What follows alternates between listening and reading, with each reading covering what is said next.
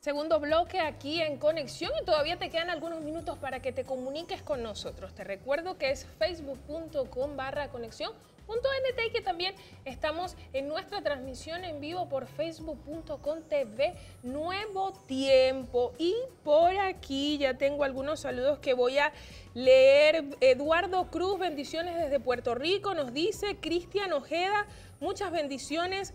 Les saludo de Chillán, Chile. Mirella González dice saludos desde Texcoco, México. Gracias, Mirella. Yemilton dice gracias. Eh, Blanca Cecilia Criales dice hermosa canción. A ver, acá más tengo a Mónica Cecilia que dice bendiciones desde Chile.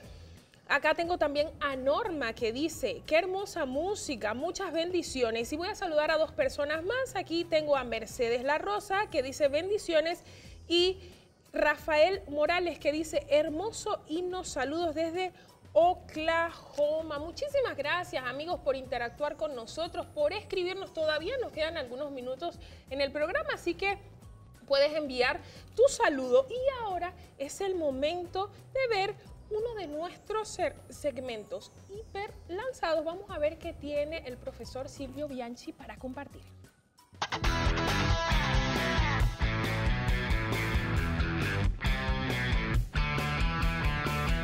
¿Sabías por qué en los aviones cuando uno compra ventanilla se sienta en el asiento y la mayor sorpresa, la grande sorpresa es que tenemos o la ventanilla hacia adelante o hacia atrás y nosotros tenemos que estar adelantándonos o tal vez doblando el cuello y tener algún tipo de lesión mínima para poder ver un poco del exterior. Es tan interesante cómo las aerolíneas trabajan con este, con este tema, porque si nosotros nos ponemos a fijarnos, cuando entramos al avión, vemos unas, unos pequeños carriles metálicos debajo de los asientos y es porque cuando, no sé, la empresa que construye los aviones lanza el avión y entrega a la aerolínea un avión prácticamente nuevo, todos los asientos están siempre a la par con la ventanilla.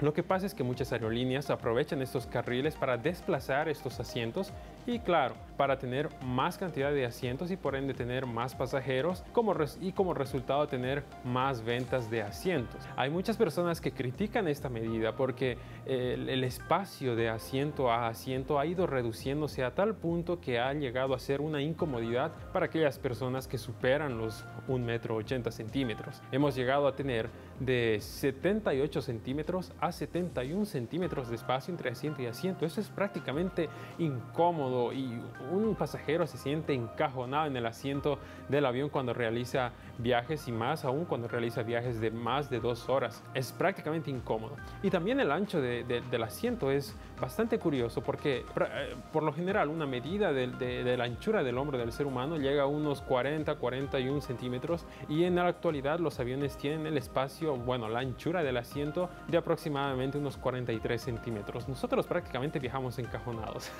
Así que la próxima vez que viajes o que realices un viaje en el avión y pidas ventanilla y por ejemplo te toque en medio de la ventanilla, ya sabes por qué eh, ese problema. Eh, no es por, por, falta de diseño, no es la culpa de los que producen el avión, sino es gracias a tu querida aerolínea que nos encajona en los asientos del avión para poder tener un cierto tipo de comodidad. Nos vemos a la próxima y no te pierdas este espacio de tecnología para conocer más sobre algunas curiosidades.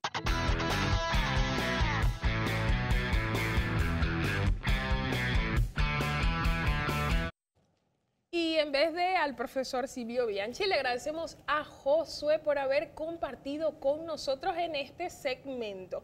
Y ya vamos a volver a charlar porque con Vivian estábamos acá concentradas, pero tuvimos que cortar porque teníamos que ir a la pausa. Y quizás una pregunta que quedó, Vivian, en el bloque anterior, era que te preguntaba porque hablabas, bueno, de, el entusiasmo y la motivación, ¿no? yo te preguntaba en realidad si era que podemos llevarlas en conjunto o no, o en realidad no está bueno, digamos, que las relacionemos. Es importante equilibrarlas. Las emociones son importantes porque ellas te, traen las cosas inconscientes, las cosas que realmente te, te dan energía, te motivan. Pero eh, la motivación, la causa, el por qué el cuándo, las cuestiones racionales son importantes. Entonces, es juntar las dos, ya la parte racional y la parte emocional, porque si eres muy emocional, eh, cuando surja cualquier problema, que alguien habló algo, que, no sé, un problema se, se interpuso en el camino, al tiro me voy a frustrar y puedo hasta desistir. Entonces, para que eso no pase, es importante equilibrar racional y el emocional. Y el emocional. Y Vivian, continuando en esta línea de la motivación, ¿no? Quizás el problema sea la forma en la que nos trazamos esos objetivos en vez de necesariamente esa motivación que tengamos. Sí, eh, eso es verdad. A veces la mayor parte de las personas no saben trazar sus objetivos porque es algo bien, bien complejo. O sea, debes saber por qué lo estás haciendo, es un objetivo mensurable, eh, tú lo puedes medir, eh, tiene plazo, si no tiene plazo es apenas un sueño, no es un objetivo. Es cuándo lo, lo piensas en hacer, qué personas vas a buscar de apoyo. Eh, buscar todos los elementos que puedas planificar tu objetivo.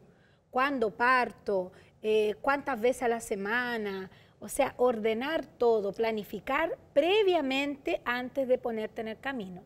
O sea, es cuando pase, estés buscando tu objetivo, tú vas a estar ahí por tercera, cuarta vez, porque ya antes tú lo planificaste. Vivian, y quizás otra pregunta, porque a veces quizás hablamos de, objetivos a largo y a corto plazo, ¿no? Porque es dependiendo un poco, ¿no? De, lo que nos tracemos, básicamente. Pero quizás es recomendable objetivos a largo plazo, porque yo creo que eso también puede ser un problema, ¿no? esa, esa ansiedad de es mucho tiempo, no estoy viendo el resultado, ¿no? En cambio, bueno, cuando es a corto plazo, medianamente en un periodo de tiempo yo comienzo a ver resultados, entonces siento que es algo quizás más efectivo. Sí, bueno, hay objetivos de corto, mediano y largo plazo. Los de largo plazo es porque exigen un buen tiempo para que tú alcances.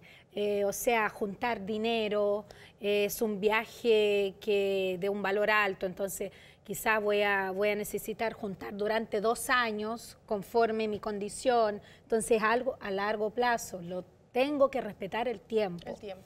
Eh, pero también tiene que ver con los perfiles de personas, porque hay personas que esos objetivos de largo plazo, que son muy inmediatistas, lo quieren para ayer, a veces desisten.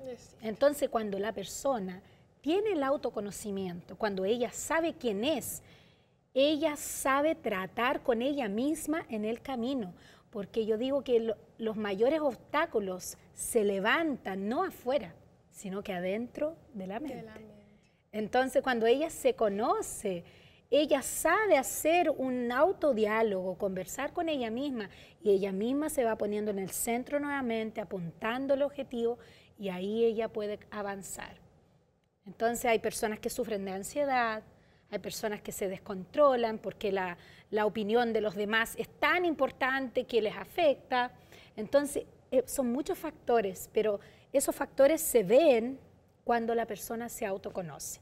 Y por eso es importante para prepararse, es importante también buscar, si yo estoy siempre repitiendo, eh, estoy siempre en el mismo lugar, eh, queriendo los mismos objetivos y no, y no camino, no avanzo, es importante, voy a buscar un profesional, un especialista que me pueda ayudar a lograr el objetivo, que en el caso es un coach que es especialista para alcanzar objetivos. Eso es importante, ¿no? Reconocer quizás cuando ya de nosotros mismos no depende, sino que necesitamos la ayuda de un tercero, ¿no? De una persona que nos pueda aconsejar, de una persona con la que podamos conversar, ¿no? Porque tú mencionabas esto de que viene de la mente y, y quizás a veces ignoramos el hecho de que nosotros mismos nos bloqueamos, ¿no? Somos nuestros propios enemigos, por así decirlo. los sabotajes.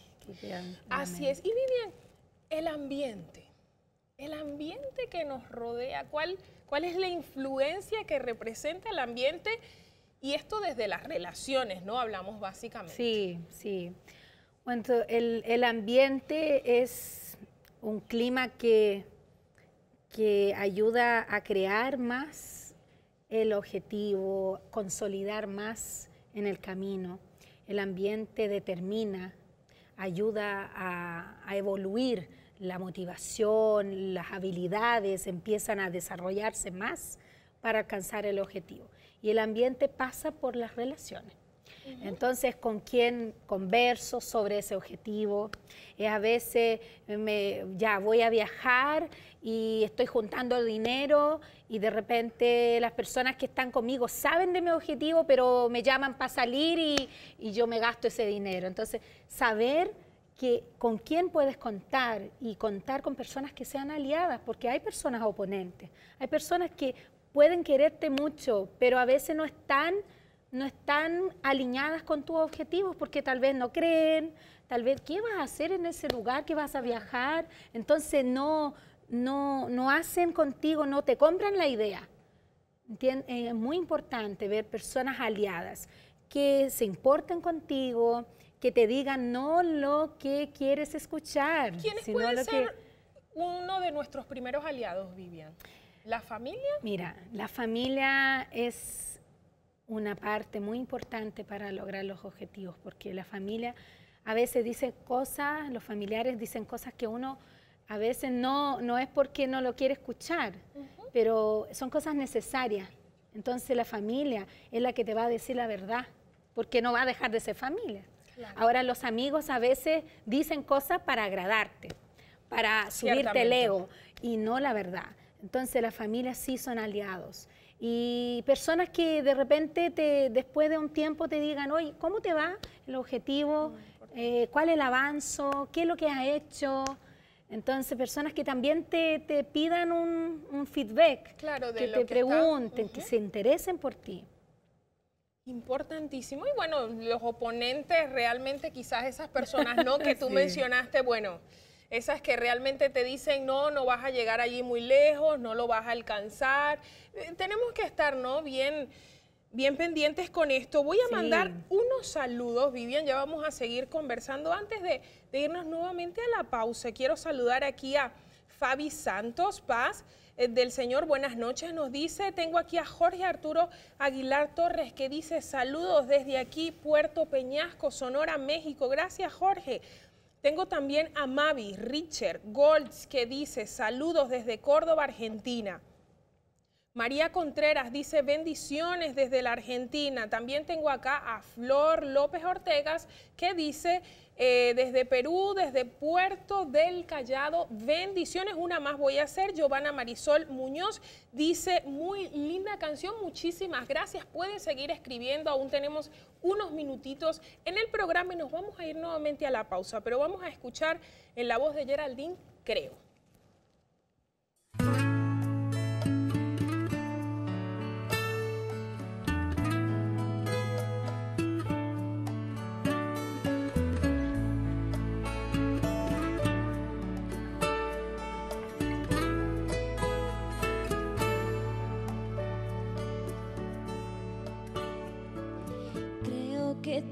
Me ha formado, ha creado mis manos y mi voz también.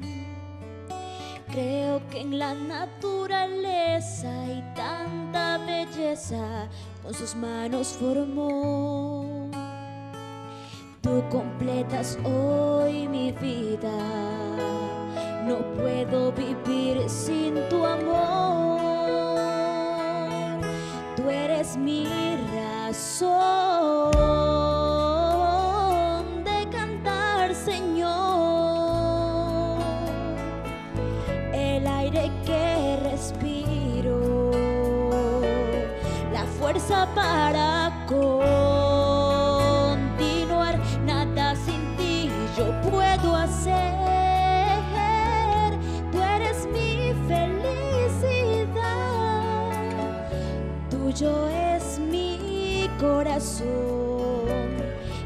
Servirte mi Dios.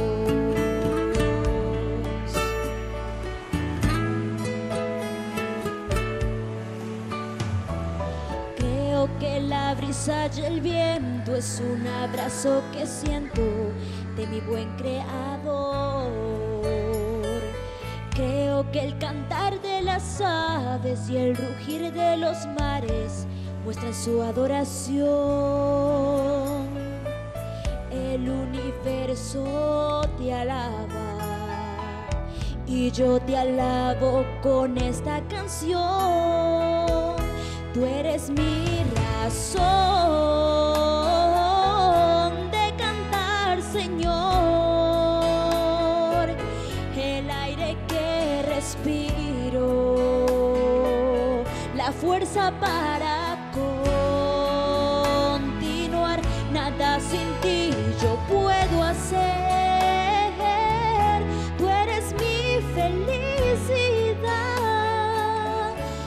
Tuyo es mi corazón. Quiero servirte, mi Dios.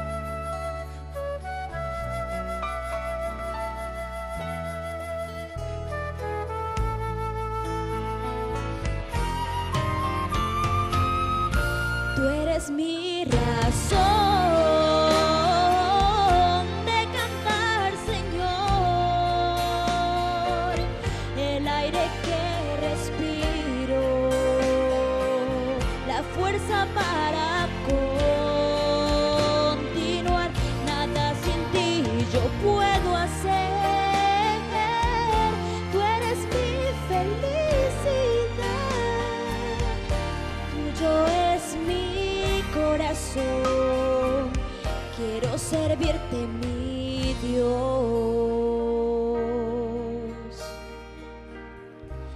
Quiero servirte, mi Dios.